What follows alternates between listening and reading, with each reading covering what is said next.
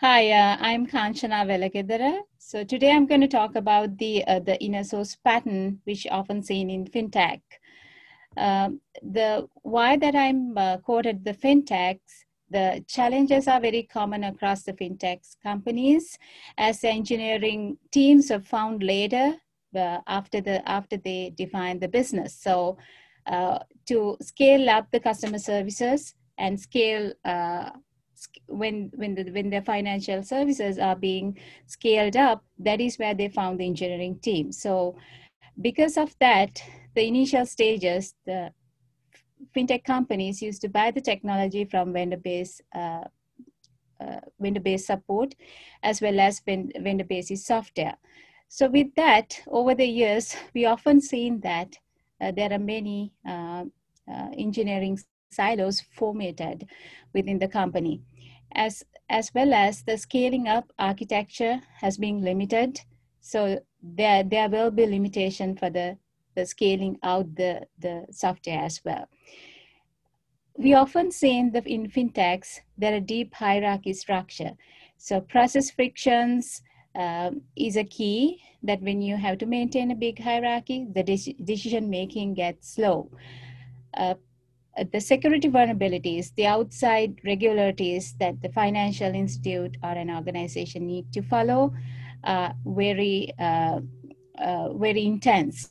So we, because of these reasons, uh, we set a common context and common, we identified common co- forces when we try to implement inner source within a fintech company.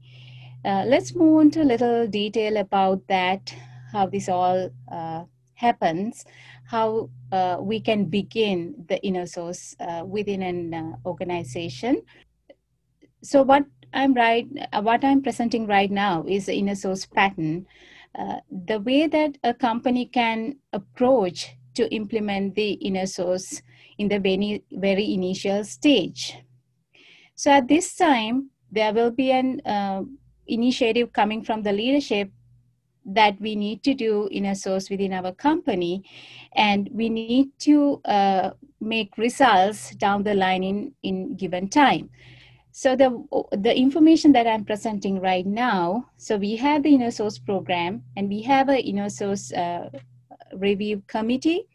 While having that set up we approach each team uh, to be considered the inner source the it's it's uh, the reason uh, behind that when we talk to each team and each individual who want to get onboarded with inner source they will join with a passion they will they will have a motivation to achieve something and resolve some of the engineering problem using the inner source uh, methodology this is exactly what's happening in the, the open source communities as well. They're key drive is a voluntary base uh, uh, commitment and also their passion to the technology. The idea here is get the same momentum with from our organization, uh, each individual commitment to achieve the inner source in a better way. When we begin, we go out there to the team as an inner source office staff and then explain what is the inner source is. And we explain what are the company goals. And we try to identify what's the team interest on inner source in which level and which best practices that they want to want to follow. So we bubble up their problem and oversee that problem. And we want we look look for their commitment to resolve those problems uh, in the best way that they can work it out. So the team knows their own technical problems. They would come and say, these three factors that we wanted to resolve with the inner source, we have less collaboration, we have less mentorship, we have the less modul- modularity in our software architecture. So we wanted to achieve these three factors using inner source methodology. When, when that commitment comes, the team res- represents each individual uh, aspects also. The individual matches one of one of these best practices as their own goal. And that obviously uh, coming from the, the organization goal. So we will see a match that from top of the organization up to the individual, we have a shared goal. That's, that's a very good context to begin with. Once we begin with that context, with the concept of the shared goals, and down the line, we will do the adapt adaptation. In the adaptation, obviously, we are going to find the, the, find a lot of challenges. Uh, I'm going to talk about three main challenges that we will face down the line when we're actually executing these. Organization challenges, we talk about the, the security vulnerabilities and the deep hierarchical setup and the process frictions. Those are very common in a large or a medium or even a startup of a uh, fintech company. And the cultural, it'll be a big shift for people to understand what it means the inner source than a day job. And we have to establish the meritocracy within the teams and the community pyramid. Each unit of the organization, the smaller unit could be the, the team. And within the team, we identify a community pyramid. And the way the individual achieve their individual goals, which matches with the team goals, through the community pyramid with the help of the Culti mentorship. And it's not the, the traditional management hierarchy that we see in a general organization. The technical challenge, so when we doing this implementation, we might come, the middle management come uh, sometime later and, the, and then they could complain, oh, this is not working. So there should be some reason why it's not working. So there, there is a technical participation, mainly the, the huge engineering silos that we oftenly seen in fintechs. There should be an ar architectural participation and the infrastructure. The process frictions uh, cause tied up the open, uh, tied up the, uh, the infrastructure as much as possible to uh, protect from the cyber attacks and protect from the other security vulnerabilities. So we, we have to have open infrastructure, infrastructure within the firewall.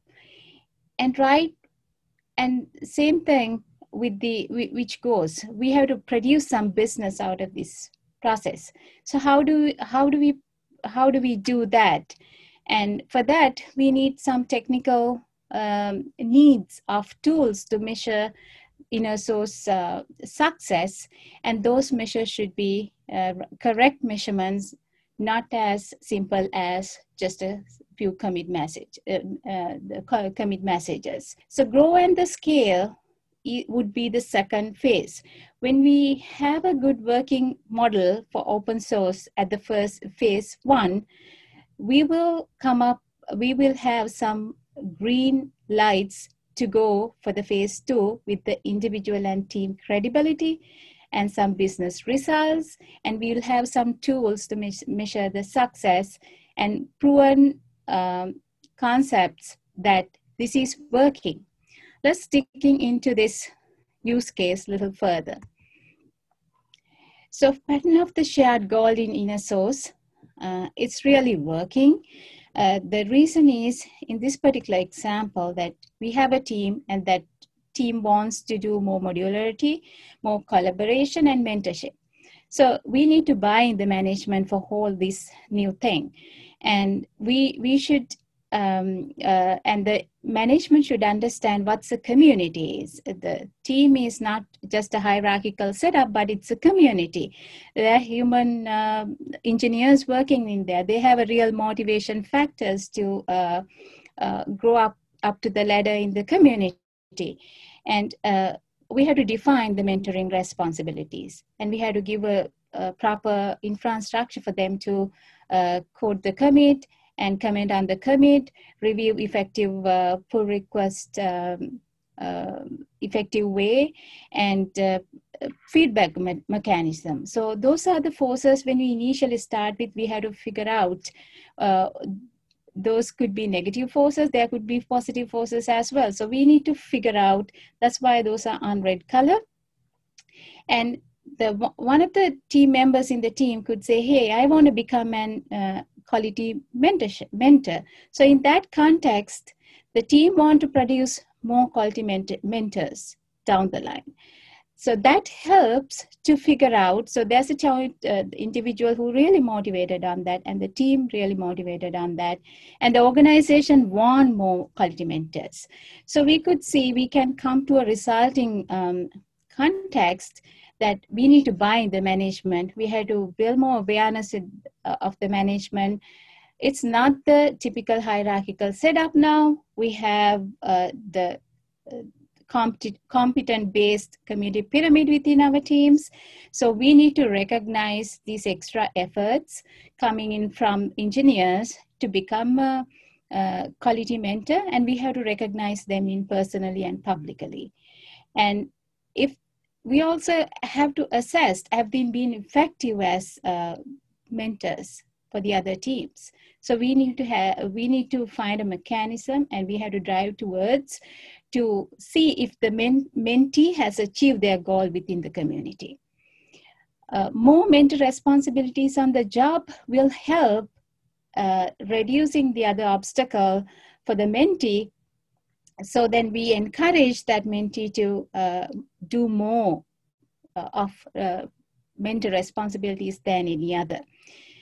Uh, often seen in fintechs that access is restricted as much as possible again that regularities security vulnerabilities play a role in there so we we have to find the mechanism as whatever the resources available in the organization that given an access without uh, violating the security for example if the manager has to add you to the the team repository uh, in a formal manner with the usually that takes a request request process which will go through entire hierarchy.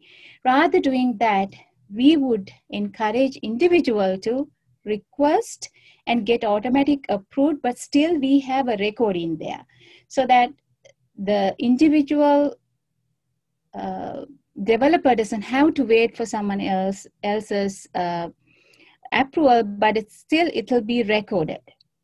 So if something happened, we we have the traceability.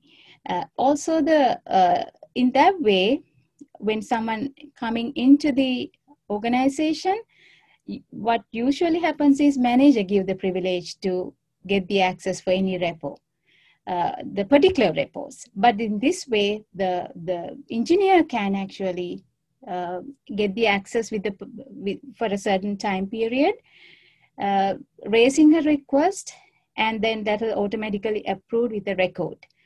And the preserved communication is very important uh, when, when, when we have a shared goal with the team and the individual. So team need to keep, keep uh, close monitoring about how we are progressing on this uh, shared goal of producing more cultivators.